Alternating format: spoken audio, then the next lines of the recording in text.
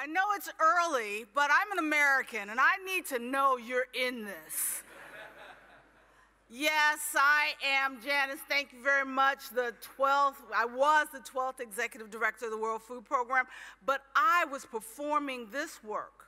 This work to ensure access to nutritious food, overcoming the challenges of food insecurity long before I was executive director. And after leaving the World Food Program, I have continued this work through research and advocacy, and now working on a project to hopefully create a new institute that will continue to drive the market based investments that are necessary for us to achieve the SDGs. So, yeah, I'm the 12th executive director. Thank you very much for that. But there's a lot more to me, and you'll hear about it this morning.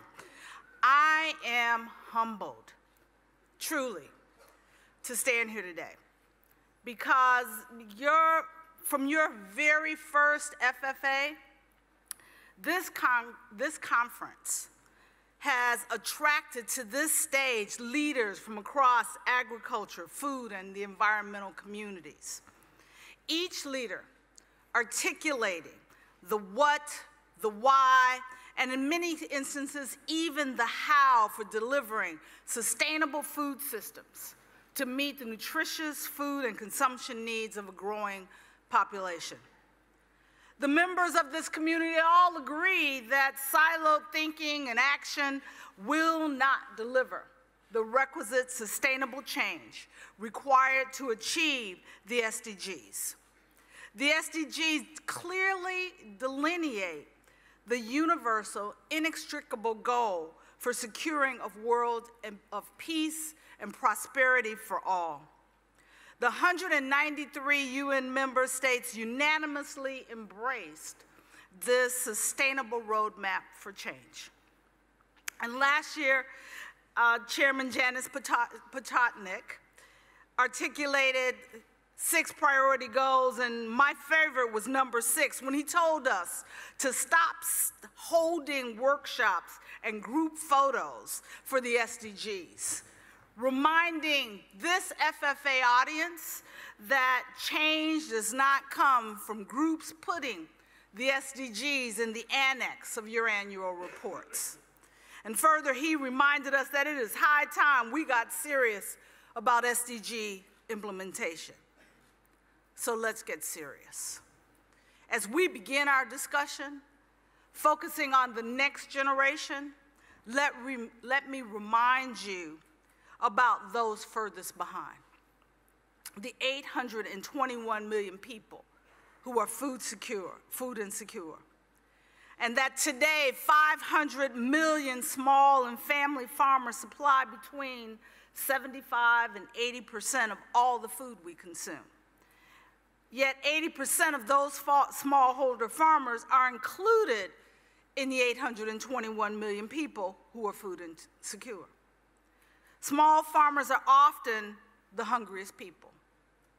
And of those 500 million farmers, some 70% of them live in climate marginal places, affected by ever more erratic weather patterns.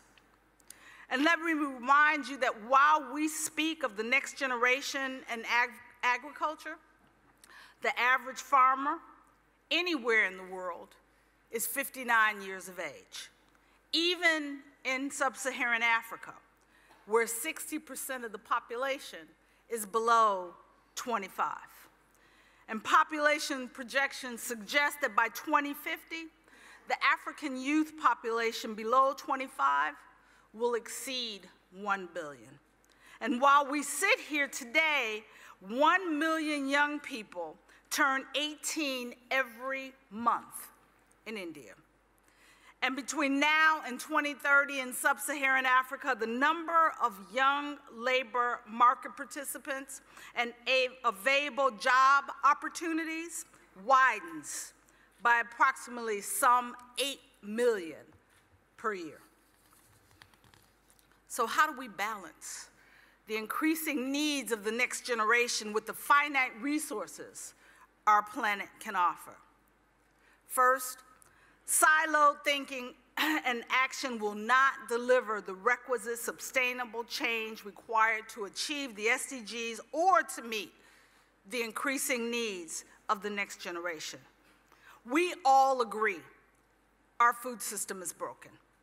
A nearly harmonious clarion call for increased crop diversity does not move us beyond today's unenviable situation where 60% of all kilocalories consumed on this planet derive from four crops white, rice, wheat, corn, and soy, despite the 30,000 plus varietals of edible, more nutritious plants growing, but too often forgotten or orphaned as they're called and ignored across the globe.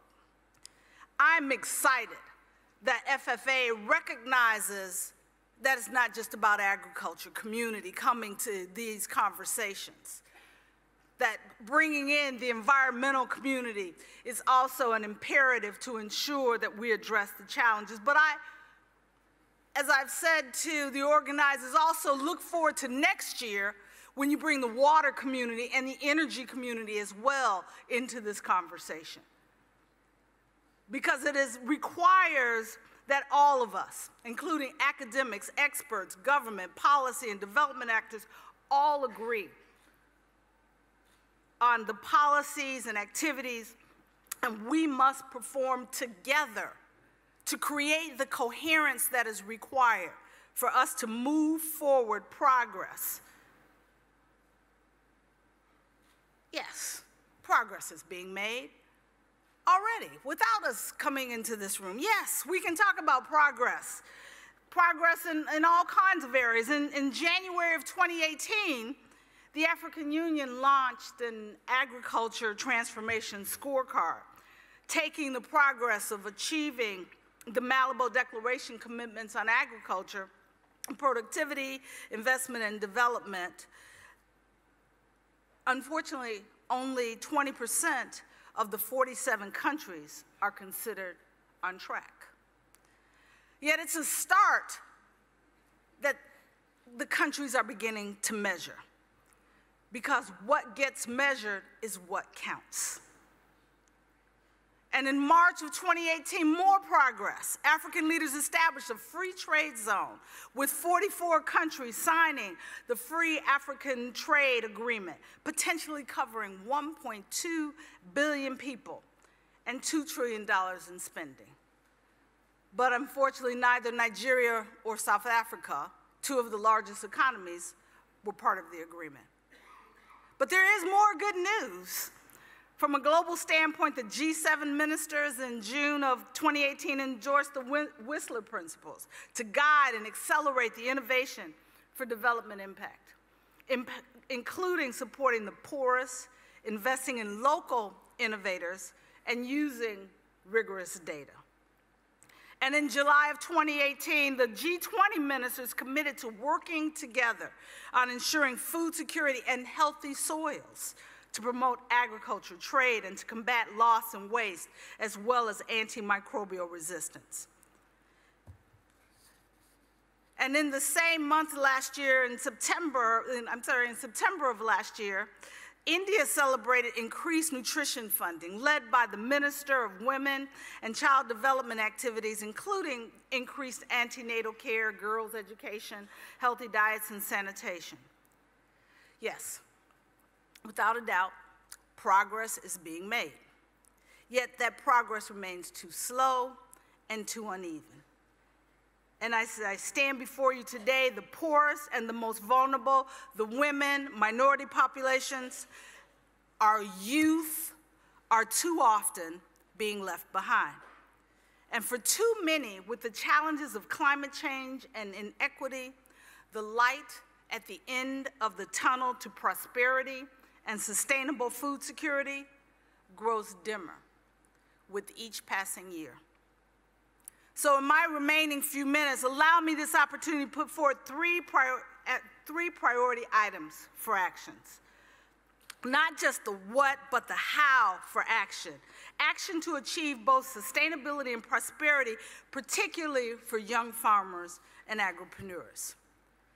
First, partnership. Yes, partnership, collective action, addressing not just agricultural productivity, but environment, water, logistics, markets, consumer demand, and disposal. Much is happening, yet the efforts remain disjointed, small scale, and too often, despite everything we know, still unsustainable. The partnerships are based upon the programs of what donors will fund. And when those program money, when those program dollars run out, the activities, the commitment that brought the partners together runs out. And too often, any progress made also stops. Working together for food systems to overcome structural challenges in order to make sustainable, full system improvements that will provide opportunities for the next generation, we must create not just collective action, not just partnerships based on program dollars, but trust based, communication driven, and human centered systems thinking collective action. Thinking designed not just for sustainability, but also for collaborative action to deliver at scale. We have too many joint opportunities where we bring our communities together and we affect 3,000 people or 4,000 people and we can't scale. Or because of our organizational mandates, we work alone. When we know no one actor working alone will deliver the myriad of services required to meet the desired objective of developing a complete food system that meets the needs of the next generation with the finite resources our planet can offer. Effective outcome driven partnerships require moving from partnership talk to partnership action across the entire value chain or the entire supply chain. And not just here in Europe, but partnership action across the developing world as well. The second priority action, even when we accomplish the objective oriented, trust based collective action,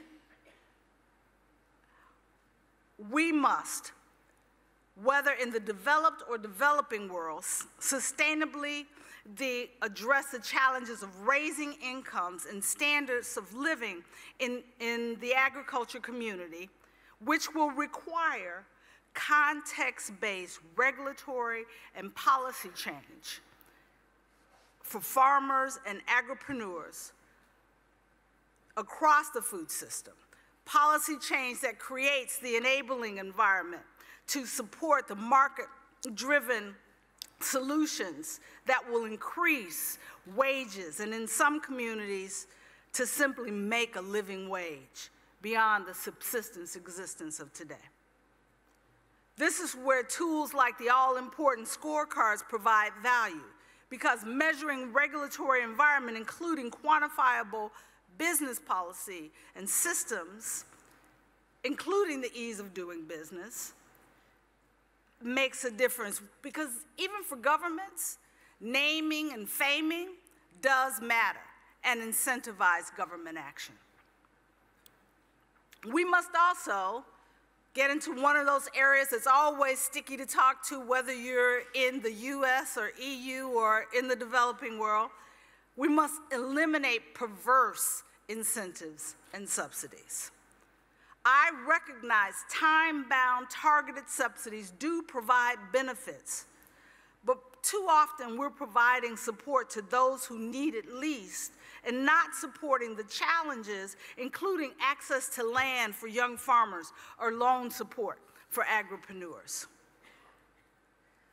So, ensuring that our policies meet the context that are required is key to addressing the challenges that will provide an opportunity for us not to just hand over an agriculture system to the next generation, but one that works. And the third and final priority action is adequate patient capital.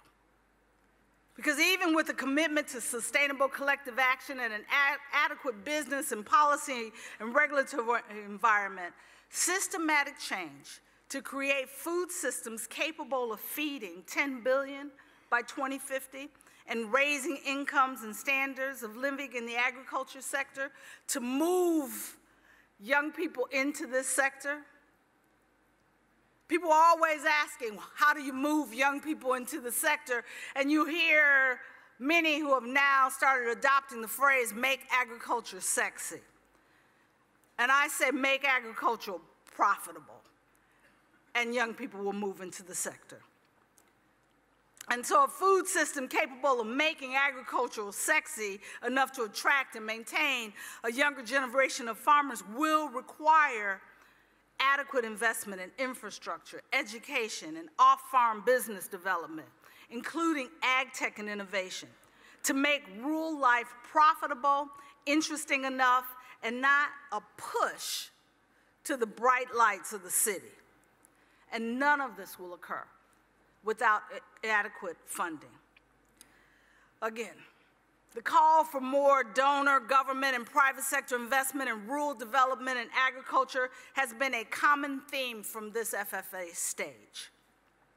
The difference I offer today is a suggestion that to meet the $5 trillion agriculture and food system opportunity projected for the African continent, and to meet the food nutrition requirements of feeding 9.5 billion people by 2050 around the global community, we need to massively increase global involvement in not just the food system here in Europe and global investments, not just in the food system here in Europe and the US, but all the food systems across the globe. We won't get there from the food system investments that are made today. Because global flows of foreign domestic, eh, foreign direct investment decreased by 23% in 2017, creating that tension between all the different communities vying for those funds. And flows to the least developed countries decreased by seven, an additional 17% on top of the 23% in the entire global community. So a decrease of almost 30 percent. Specifically, across Africa, average foreign direct investments decreased by 31% in 2017. And in 2019, while private sector investments and remittances increased year over year, foreign direct investments remains the largest external source of finance for the agriculture in the developing world. And the World Bank, FAO, and IFPRI all agree crowding in private sector investment in the agriculture sector will help achieve SDG 2 and optimize the use of scarce resources. The data also shows investing in agricultural productivities is one of the most effective ways to advance youth livelihoods. Private sector investment across the food system, yes, does increase every year. Sources including local and international banks, value chain actors, impact investors, development financing institutions, private sector foundations, and specialized agriculture investment funds. Yet the demand for rural infrastructure, ag tech, food tech, and agriculture food system innovations requires capital far in excess of the funds invested today. Food system improvement opportunities, when adequately packaged and managed, provide a host of opportunities for patient capital investors to participate in growth and income derived from processing, transporting, and selling food.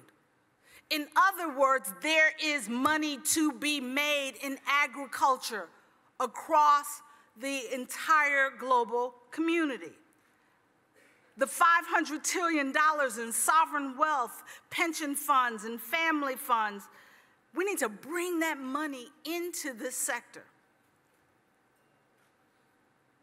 Because smart investors understand investing in agriculture and food may not provide immediate returns, But over the long term, these investments can pay off handsomely. So, yes, agriculture's and food system investments are inherently risky business.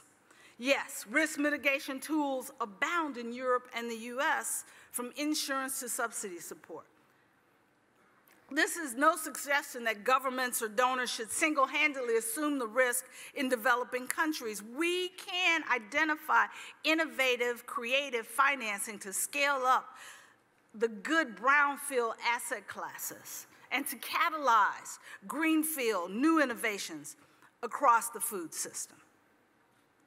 You all are awfully quiet out there. But it always gets really quiet when I talk about money. But the reality is, we can continue to convene here in Brussels, or we can go to Geneva, or New York, or Rome, and take our photos, sipping our coffee, and talk about what it takes to deliver a food system that will sustainably nourish our growing population, sustainably nourish the next generation, drive eh, opportunities. But without capital, it is just that all talk. So we can take a different path. We can begin to embrace the more challenging how-to solutions that will make risk make that will make a difference not just for the affluent and the middle class, but also for women, youth, and particularly the poor and underserved. The choice is ours. The time is now to stop talking about what we all know and agree upon what we must do and move forward to do it.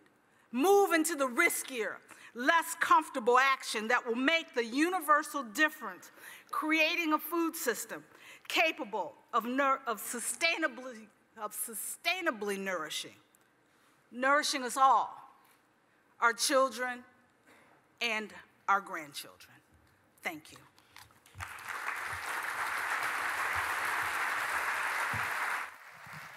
You're going to sit in that chair there. Ertharin Cousin, thank you so much. Take a seat. There will be people who remember you from the United Nations because you stand out, because you're very direct. Uh, and you bring energy into a room and you challenge people. How's retirement from the UN been? hard work.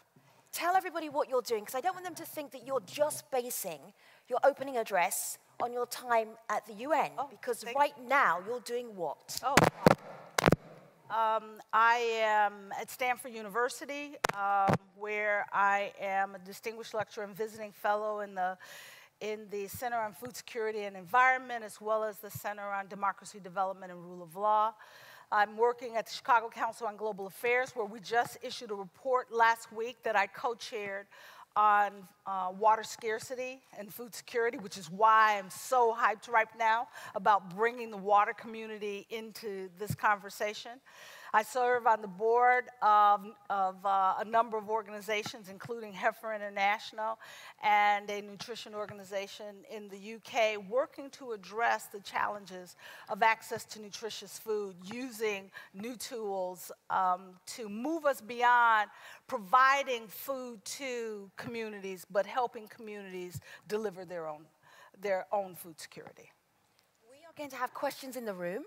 Uh, we'll bring the lights up and we'll bring some questions into the room. But we'll start online. Often this one is from um, coming to you from online. How can we accelerate systematic change? You're really good on the idea of action. Mm-hmm. So, how do we do this? Well, this, uh, when I, what I said about partnership um, is quite real. And uh, I'm excited because the, there's a new partnership in this room uh, that brings in not just the agriculture community, but the environmental community, recognizing that systematic change requires us to get out of our silos. To when, after the 2007 and 2008 food crisis, we focused, we, the operators in the agriculture community, focused on increasing the quality and quantity of yields and we made some progress in that area. But what we found was that progress was very limited because we didn't address the challenges of logistics and access to market and consumer demand. And we didn't address the challenges of food waste. And as a result, what we saw was that a quarter of the food that is harvested in sub Saharan Africa, which is more than all of the food aid brought into sub Saharan Africa, is wasted every year. And uh, so we knew, we, we began to realize as a community the need for working in partnership across the entire system if we effect, expected to make the structural changes into those, that entire system that would create sustainable change. Your vision for, your vision for the next generation is, is really interesting because you're, feeling, you're, you're saying about money being put into the system so young people will find it attractive. Bearing that in mind, I just want to go to Twitter, hashtag FFA2019. If you have your phones, you want to tweet, you don't want to put your hand up or stand up, you're a little bit shy, you can do it via Twitter, and it may well pop up on this screen here. So here's from Twitter. Between now and 2030, the number of young market participants will rise by about 8 million. So how to help farmers deliver for the next generation of consumers? Well, first of all, we need to get more young people into farming because the, the, the uh, average farmer is, as I said, is, is 59 years of age today. We have large numbers of uh, young people without uh, economic opportunity, and we need to ensure that agriculture, which has always provided pr the baseline for developing GDP growth in, in particularly in, de in, developing countries, that we ensure that that trend includes the young people by providing the financial resources that are necessary. But when you ask the question of how do we do it for consumers, we need to give consumers more visibility on that entire food system. The reality is, so many of us in our generation whose families, I'm a granddaughter of a farmer. And my grandparents did everything in their power to educate their children so that none of their children would ever work on a farm and their children's children would not work on a farm. And as a result, we lost sight as consumers of the food system, of the, of the challenges of production, of, of growing food, of producing food, of moving food.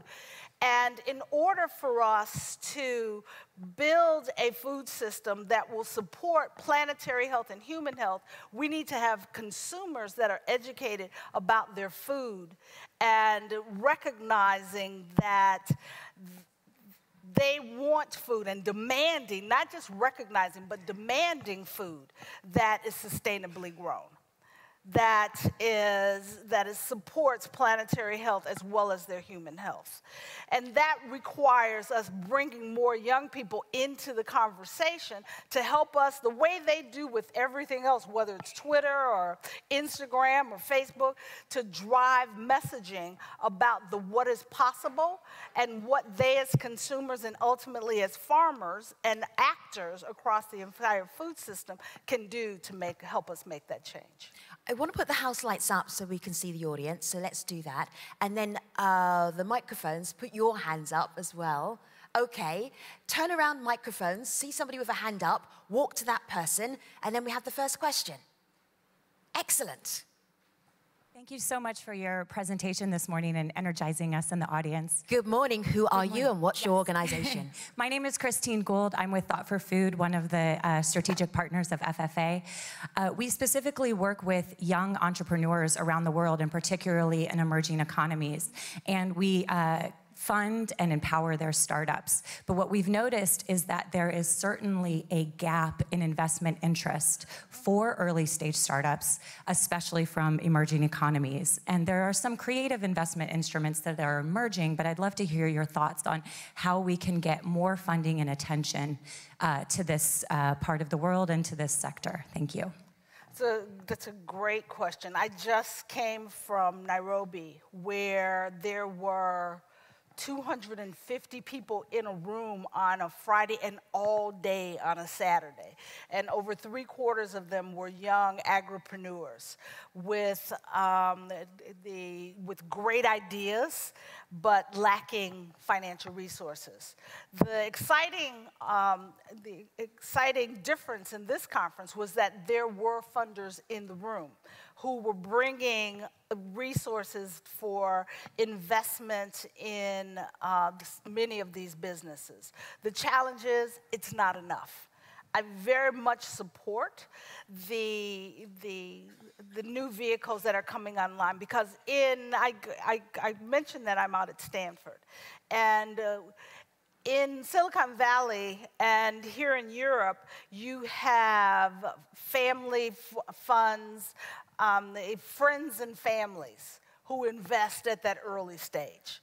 If you're in a developing country, you don't have friends and family who can give you even minimal capital to get started. So there are a number of the DFIs that are coming on board to support that early stage capital. The reality of it is, in many cases, in the developing world require concessionary money in that very early stage. What we need is that middle, that messy middle, as it's called, that capital. Once the, the you have a, a proven case of a business, that that capital is made available in the developing world for new ideas. There's a new company called Twiga in. Um, in, in Nairobi that is an app based uh, company that we are all accustomed to using Amazon or other tools to order up food. Twiga is doing that in Nairobi to bring food directly from farmers into Nairobi. And they have gotten past that messy middle because you had an, the, an owner who had a house that he could that he could mortgage, much like you would see in any other company country, that he invested in himself first and then other money came. But we must ensure that between that development capital, that new funding sources are brought online, and then that we have longer term uh, capital that is more patient, that will invest in the time period that's necessary for, the, the, for these new companies to build the market that will ultimately provide returns not just to the entrepreneur, but to the investor. Ertharin, I want to squeeze a lot more out of you, okay. so I'm going to ask you for uh, pithy responses to extremely Are pithy questions. I am long I would never dare to say that, but that answer could have gone on for into the coffee break. Let's see. This is, this is a great one. I am a young farmer, 26. How can I implement all of the things and all of the innovative processes that you, Ertharin, have been talking about without the capital? You can't. Oh. It won't happen. It won't happen. So, what does this young farmer do? I'm standing in front of audiences like this one all around the world to drive new capital into the marketplaces. Here in Europe, because you have young farmers who will say, I didn't come from a family of farmers and I want to go into farming. I can't afford the land. And commercial banks are not providing loans to young entrepreneurs interested in farming. We need to change that. Whether it's in Europe, the US, or in Nairobi because it won't happen. We can't expect young people to come into a sector that does not have the capital that is required to support the business. Let's go back into the audience. Okay, hand right there at the back. Fantastic. Organization, who you are, pithy question. Good morning. The microphone will be on. We wouldn't trick you. I don't think so. Oh, yeah. Yeah, hello. Uh, hello, my name is Koen van Keer. I'm, I'm, an agronomist from Yara Mineral Fertilizer Company. I have a question uh, concerning to smallholder farmers, and I, want, I will start with a provocative statement. Small is beautiful, but too small can be ugly. What, what I mean to say is that we all acknowledge that small-scale farmers are very important and, and contribute the bulk of food security today. But going forward, with all these people also wanting to have a better life and access to, to luxury items, do, do you believe that, that the world can continue with having a very large number of really small-scale farmers, like half a hectare to two hectares? Thank you. Small-scale farmers must work in cooperatives in order to support supply chains in order to support markets. You are absolutely right. We have many small farmers that shouldn't be farmers in the, in, because they're not business people. They can be gardeners, yes, if you want to, but you, we can't depend upon them to support the supply, the food supply. But we also need to create new businesses, food production businesses. Too often in the developing world, in particular, food goes out as raw commodities and comes back in as processed foods because there's no commercialization, there's no production on the continent, in the communities. In those communities, we need to develop the processing plants that provide jobs and economic opportunities for those who are not farmers as business people, to ensure that the farmers as business people can work together to grow the food in a, in a more efficient and effective and sustainable way to support a growing mm -hmm. population. All right. Thank you very much, audience. You see the lights have gone down. They will come up again, so you'll have more Q&A and conversations with the speakers here on the stage. But for now, please show your appreciation for Ertharin Cousin. Thank you.